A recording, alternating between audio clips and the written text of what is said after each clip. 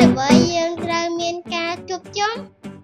អញ្ចឹងបន្ទាប់ពីជឿលើព្រះម្ចាស់យើងនឹងក្លាយទៅជាសមាជិកនៃគ្រួសាររបស់ព្រះក្នុងគ្រួសារព្រះយើងត្រូវប្រាស្រ័យតាក់ទងគ្នា ដើម្បីការប្រកបនិងលើកទឹកចិត្តគ្នាទៅវិញទៅមកព្រះបិតារបស់យើងដែលគង់នៅស្ថានសួគ៌ទ្រង់ពេញចិត្តដែលឃើញយើងជួបជុំគ្នានិងស្រឡាញ់គ្នាទៅវិញទៅមកព្រះម្ចាស់មានព្រះបន្ទូលសន្យាហើយនឹងប្រទានពរ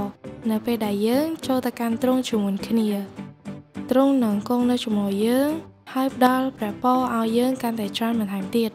ព្រះជាម្ចាស់ក៏មានព្រះបន្ទូលសន្យាដែរថាប្រសិនបើក្នុងចំណោមអ្នករាល់គ្នាមាន2នាក់យល់ស្របអំពីអ្វីដែលពួកគេទូលសុំនៅលើផែនដី នោះនឹងបានសម្រេចសម្រាប់ពួកគេ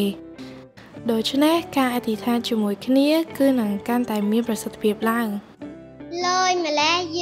ើងអាច មានបទពិសោធន៍ជាមួយនឹងព្រះពរជាច្រើនមែនហើយមិនមែនត្រឹមតែប៉ុណ្ណឹងនោះទេប៉ុន្តែនៅមានអ្វីជាច្រើនទៀតដែលយើងអាចមានបទពិសោធន៍ក្នុងការប្រជុំផងដែរក្នុងអំឡុងពេលការប្រជុំអ្នករស់គ្នានឹងអាចចែករំលែកអំពីរបៀបដែលអ្នករស់គ្នាមានបទពិសោធន៍ជាមួយនឹងព្រះអង្គម្ចាស់នៅពេលដែលយើងធ្វើដូច្នេះយើងអាចយល់កាន់តែច្បាស់អំពីទំហំ នៃសេចក្តីស្រឡាញ់ដ៏ជ្រាលជ្រៅរបស់ព្រះជាម្ចាស់ហើយនៅពេលដែលយើង ដឹងកាន់តែច្រើន នោះយើងនឹងស្រឡាញ់ទ្រង់កាន់តែច្រើន ក្នុងអំឡុងពេលនៃការប្រជុំយើងអាចនិយាយអំពីព្រះជាម្ចាស់និងព្រះគម្ពីរដើម្បីជួយឲ្យយើងអាចយល់អំពីព្រះបន្ទូលរបស់ព្រះជាម្ចាស់និងព្រះហឫទ័យរបស់ទ្រង់ដូច្នេះហើយ យើងអាចកំណត់មូលដ្ឋានគ្រឹះនៃជីវិតរបស់យើង